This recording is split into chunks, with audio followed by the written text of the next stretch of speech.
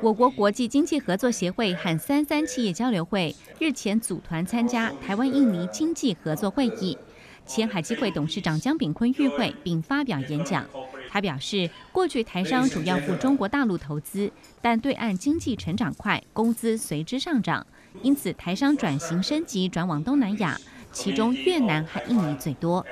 在东南亚当中，现在大家越来越关注啊，印尼，因为它土地面积大，人口多，这个资呃这个资源相当丰富，当然缺少这个呃公共建设啊，缺少行政效率。只要从这两个地方去解决，我相信它很有潜力变成一个啊一个很重要的一个我们的呃贸易伙伴，所以我们应该积极来关注这个地点发展。我国驻印尼代表张良任表示，台商驻印尼做生意就必须了解当地的经商文化，建立信任关系。他并指出，台湾战略地位重要，印尼企业可借由台湾前进大陆。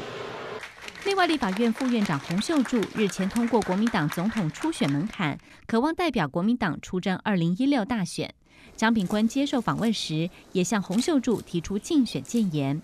台湾经济的问题，其实有非经济因素，也有经济的因素。那非经济因素，我我是觉得，台湾如何避免政党的恶斗，尤其在国会，所以国会的改革是第一要务。